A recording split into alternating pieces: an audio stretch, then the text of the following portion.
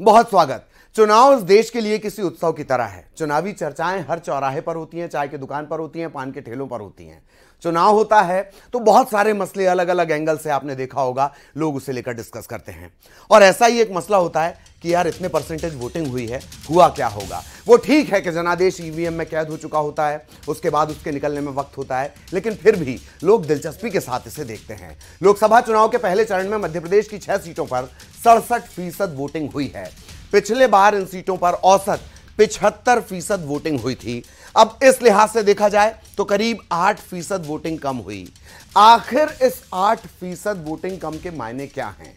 हम एक एक करके हर सीट का विश्लेषण करेंगे। मध्य प्रदेश और छत्तीसगढ़ की जो एक सीट है, कोशिश होगी सबका विश्लेषण करें। हमारे साथ खास मेहमान जुड़ेंगे, जो आपको वोटिंग परसेंटेज के घटने और बढ़ने के मायने बताएँगे। तो सबसे पहले बात करेंगे मध्य प्रदेश की सबसे हॉट सीट छिंदवाड़ा की।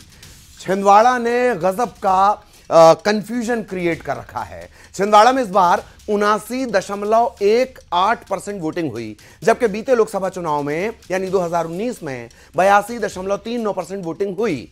वोटिंग घटने को लेकर छिंदवाड़ा में सस्पेंस बरकरार है। एक बात और भी है कि जीत के मार्जिन पर इसका सीधा असर पड़ता है। वोटिंग के घटने और बढ़ने का, जीत के मार्जिन पर सीधा असर पड़ता है। बात मंडला की कर ली जाए यहाँ पर बहत्तर दशमलव चार नौ परसेंट मतदान हुआ। साल 2019 के लोकसभा चुनाव में सतहत्तर दशमलव सात छह परसेंट वोटिंग यानी इस बार करीब छह पाँच फ़ीसद वोटिंग आ, कम हुई है। कम वोटिंग हुई है। तो मंडला और छिंदवाड़ा की जो स्थितियाँ हैं वो आपने देखी। क्या इसके मायने हैं? अब जरा उसे समझने की कोशिश कर ली जाए।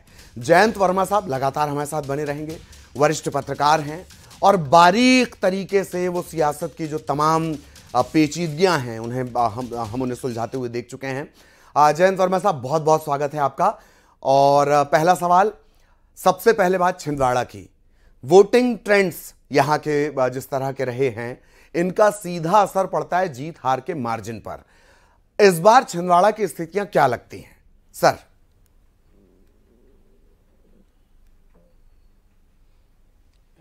देखिए जो वोटिंग का परसेंटेज कम होने का सामान्यतः तो लोग कह रहे हैं कि गर्मी बहुत थी जैसे जबलपुर में भी हम्म। इकतालीस डिग्री टेम्परेचर था और छिंदवाड़ा में भी टेम्परेचर काफ़ी था। तो गर्मी के कारण बहुत से लोग निकले नहीं हैं ऐसा जबलपुर में तो खास ये है छिंदवाड़ा में भी यही हुआ होगा। तो इसमें ऐसा लगता है कि सामान्यतः जो जैसा कि मीडिया कवरेज था और जैसा सब लोगों का यहाँ सोचना था कि ये चुनाव एक तरफा है जो 400 पार भारतीय जनता पार्टी बोल रही है। और इसलिए यहाँ जबलपुर में और छिंदवाड़ा में भी छिंदवाड़ा में तो वैसे आ, सभी लोग गए मतलब भारतीय जनता पार्टी ने अपनी पूरी ताकत लगा दी थी वहाँ पे। तो सब लोग गए और तीन प्रतिशत कम हुआ 82 से तीन प्रतिशत कम हुआ। तो जब प्रतिशत कम होता है तो इसका मतलब यह है कि जो मार्जिन है जीत का, वो कुछ घटेगा। जीत का मार्जिन घटेगा। और जो सत्ताधारी दल है, उसके वोट कुछ कम होते हैं, ऐसा नॉर्मली देखा गया है। जी। जब परसेंटेज कम होता है। जी जी। तो हालाँकि एक बात और है। मुझे लगता है कि हाँ, प्लीज़ प्लीज़ कंटिन्यू तो सब जगह जी। भारतीय जनता पार्टी का तो यह है कि सब जगह एक तरफा ही रहा जहाँ पे भी देखें कांग्रेस की जो बूथ थी वो उनके जो वो, वो एजेंट बैठते हैं बाहर हम्म, हम्म। तो वहाँ भीड़ कम दिखती थी और यहाँ बहुत ज़्यादा महिलाओं का बहुत ज़्यादा टर्नओवर रहा मतलब बहुत ज़्यादा महिलाओं ने वोट दिया शुरू से ही यहाँ लाइन लगी दिखती थी तो महिलाओं का था तो उनसे कई से पूछा भी गया तो उनने कहा भाई हमको तो जो पैसा आ रहा है बारह सौ पचास तो हम तो उसी पार्टी को देंगे। इस प्रकार से सोचना है। जी जी। ये जो पूरा का पूरा आ, मतलब ये माना जाए कि जहाँ ये वोटर मूव कर जाएगा मामला तो था वहाँ वहाँ ये बड़े पेच पैदा करेगा जो जो महिला वोटर है। मैं आऊँगा आपके पास। अभिषेक शुक्ल न्यूज़ एडिटर वो भी हमारे साथ जुड़े हुए हैं। अभिषेक इससे पहले जनरली हमने टर्म बनाए सत्ता विरोधी लहर एंटी इनकम्बेंसी फिर एक और टर्म आया वो था प्रो इनकम्बेंसी और ये भी नज़र आया कि वोटिंग बढ़ने के मानी हर बार ये ज़रूरी नहीं कि सत्ता विरोधी लहर ही हो। इन सब के बीच क्या पॉलिटिकल स्थितियाँ आपको नज़र आती हैं? जी, अभिषेक।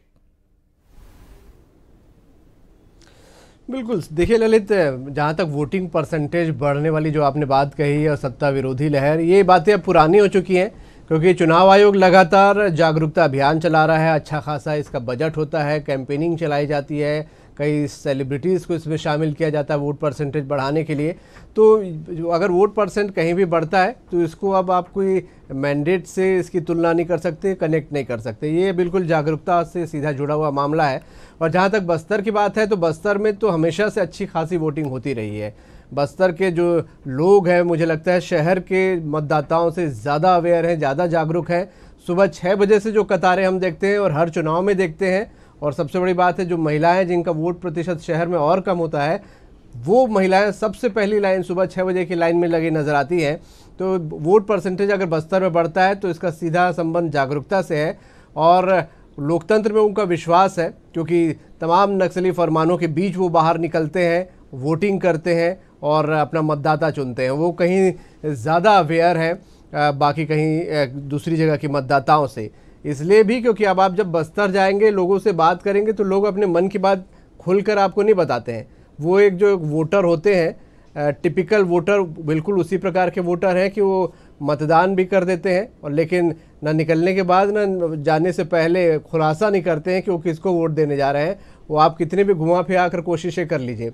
तो वोट प्रतिशत बढ़ता है और जनता की जहाँ तक बात है वोट परसेंटेज की, पिछली बार से बस्तर में वोट प्रतिशत ज़्यादा बढ़ा है, ये बड़ी सफलता है लोकतंत्र की, लोकतंत्र में उनका विश्वास है, क्योंकि नक्सली फरमान, नक्सली घटनाओं के बीच में कोई दहशत में नहीं आया, किसी भी प्रकार से पीछे नहीं हटे वो उसी उत्साह के साथ, बहुत भयानक गर्मी थी, कल ललित बता दूँ, बस्तर में जहाँ पर वोटिंग हो रही थी।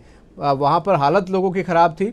इतनी भयानक गर्मी थी लेकिन इस भयंकर गर्मी के बीच में भीषण गर्मी के बीच में मतदान प्रतिशत अगर बढ़ा है तो वहाँ के वोटरों को सैल्यूट करना होगा और वहाँ के वोटर एक तरीके से मिसाल पेश करते हैं बाकी जगहों के लिए कि किस प्रकार तमाम मुश्किल हालातों के बीच भी वो अपने लोकतंत्र अपने वोट को लेकर जागरूक है। जी।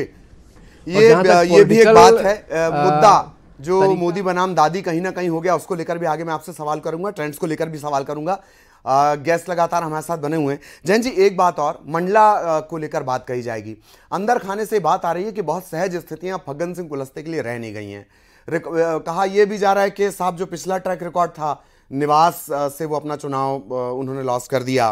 अब फिर रिपीट भी उन्हें किया गया और वोटिंग के जो ट्रेंड्स रहे। मंडला में क्या दिखता है? जी प्लीज़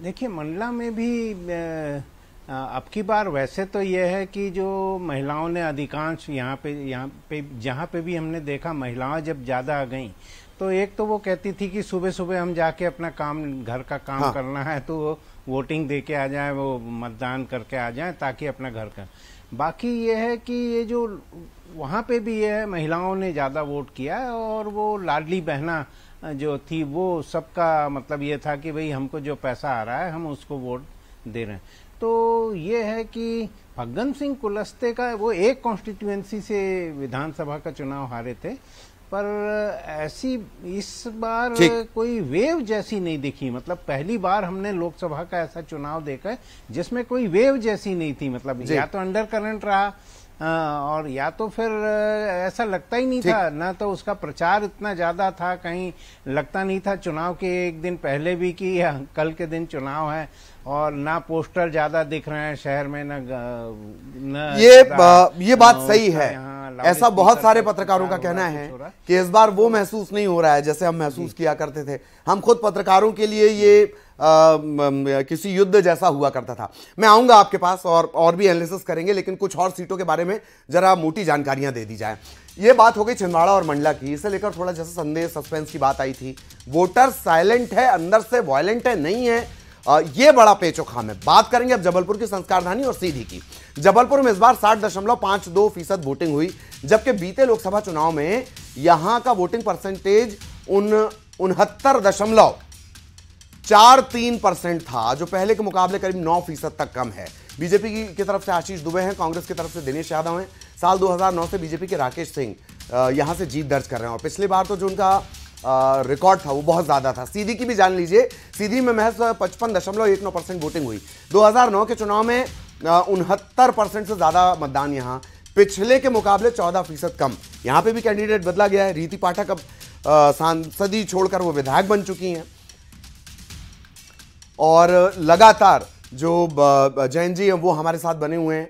अभिषेक हमारे जो वरिष्ठ सहयोगी हैं, वो हमारे साथ बने हुए हैं। उनके ज़रिए हम छत्तीसगढ़ को भी डिकोड कर रहे हैं। तो जैन जी, मैं आपके पास आना चाहूँगा जबलपुर और सीधी को लेकर। जबलपुर का हालाँकि जब आपने शुरुआत में बातचीत शुरू हुई अपनी, तब आपने कहा था कि गर्मी भी एक बड़ा फैक्टर है।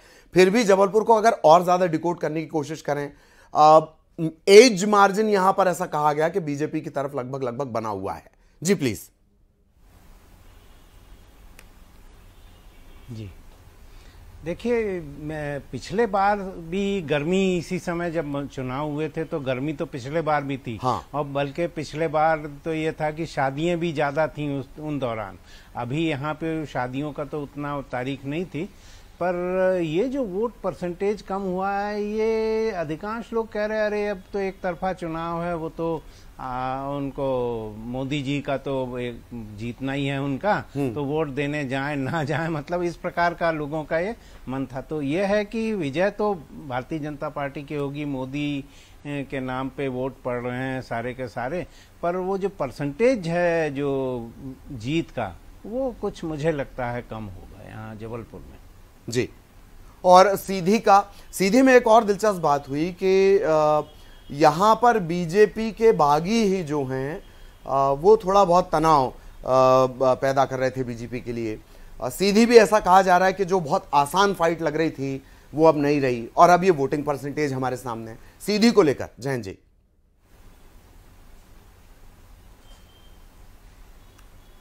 देखिए, जब कैंडिडेट चेंज होते हैं तो ये है कि पिछला जो कैंडिडेट था वो उतना उत्साह नहीं दिखाता। जबलपुर में भी चूँकि आशीष दुबे को लाया यहाँ पे आ, ये पहले कभी विधायक भी नहीं रहे कुछ नहीं रहे और यहाँ के जो स्थापित भारतीय जनता पार्टी के नेता थे उनको लगता था कि भाई एक नया हमारे ऊपर मतलब एक नेता आ जाएगा।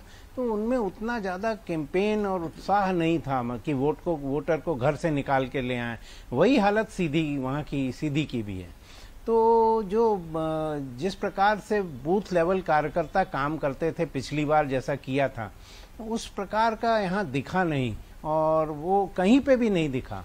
और सबसे बड़ी आश्चर्य की बात तो यह है कि सबसे ज़्यादा पॉलिटिकली अवेयरनेस यदि मध्य हिंदुस्तान में कोई राज्य है तो वो है बिहार। और बिहार में सबसे कम 48 परसेंट वोटिंग हुई है। जी। तो ये एक बड़ा ट्रेंड है। ऐसा लग रहा है कि क्या होने वाला है या कोई ऐसा चल रहा है एग्रेसिव एग्रेसिव कैंपेनिंग से लेकर एग्रेसिव पॉलिटिकल जो तस्वीरें दिखी हैं वो वहीं से दिखती हैं खासतौर पे यूपी और बिहार से।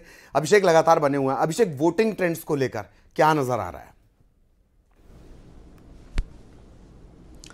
देखिए, जो वोट प्रतिशत बढ़ा है, उसको हम किसी मैसेज की ओर तो कनेक्ट नहीं कर सकते, लेकिन जो वहाँ की सियासी फिजा है बस्तर की, वो जो भी लोगों से बात हो रही है या मतदाताओं के रुझान को देखकर समझ में आ रहा है कि कड़ी टक्कर वहाँ पर है। कवासी लखमा एक तरफ़, जहाँ एक बड़े चेहरे के तौर पर कांग्रेस की तरफ़ से मैदान में थे सबसे जाना पहचाना चेहरा है। बस्तर के अगर आदिवासी नेताओं की हम बात करें तो कवासी लखमा है। और कवासी लखमा अपने तमाम बयानों की वजह से भी चर्चा में रहते हैं। तो कवासी लखमा एक तरफ़ अकेले किला लड़ाए हुए थे तो दूसरी तरफ़ बस्तर के बीजेपी जो प्रत्याशी महेश कश्यप है लो प्रोफ़ाइल कैंडिडेट है, लेकिन उनके पीछे पीएम मोदी का चेहरा था। तो लखमा वर्सेस मोदी कहा जाए तो गलत नहीं होगा। उसके अलावा ग्राउंड लेवल पर भी बीजेपी ने तमाम ताकत वहाँ पर झोंकी। बीजेपी बस्तर सीट हार चुकी है 2019 में हाँ। इसलिए पूरी ताकत इस बार बस्तर में बीजेपी ने यहाँ पर लगाई है।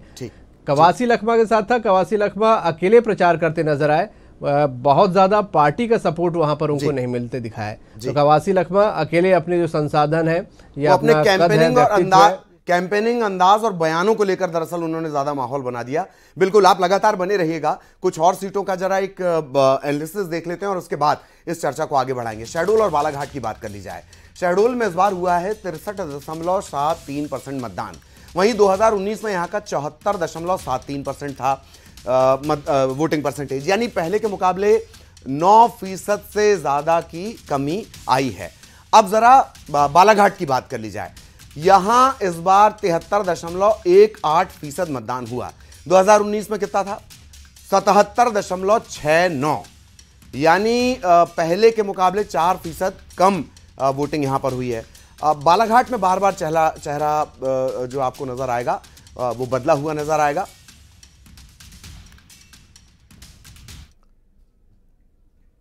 तो जैन जी हमारे साथ लगातार बने हुए हैं। अब हम बालाघाट और शहडोल के हमने आंकड़े दिखाए हैं। क्या आपको लगता है पहले शहडोल की बात कर ली जाए शहडोल में क्या नज़र आता है?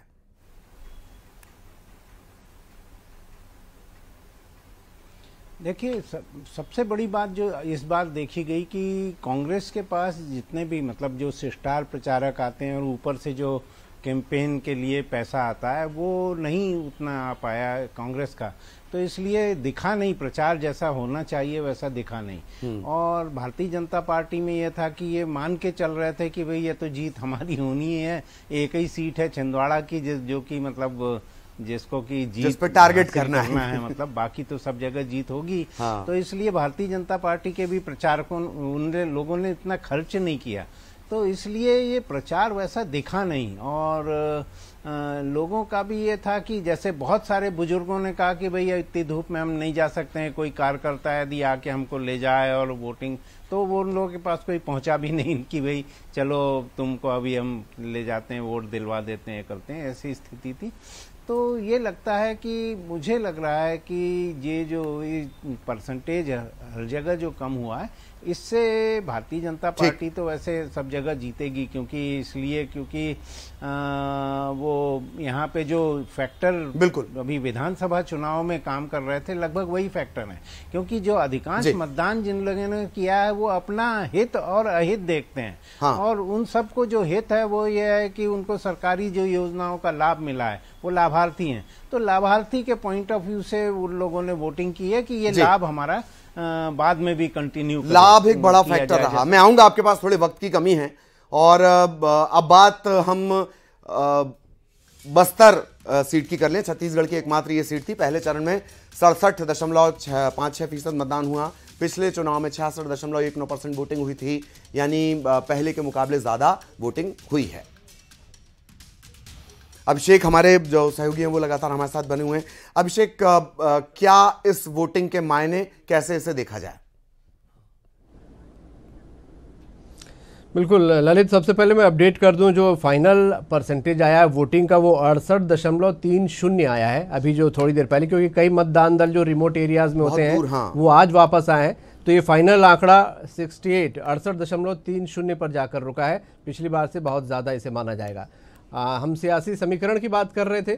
देखिए लोकसभा चुनाव में कहीं भी लहर हो नहीं हो लहर बस्तर में लहर से ज़्यादातर लोग प्रभावित नहीं होते। उनके अपने मुद्दे होते हैं उनकी अपनी समस्याएँ होती हैं उनका सोचने का अपना अलग ढंग और तरीका होता है। इसीलिए आप देखिए देश भर में कहीं भी कोई भी लहर हो कई बार बड़े चौंकाने वाले परिणाम बस्तर में आते हैं।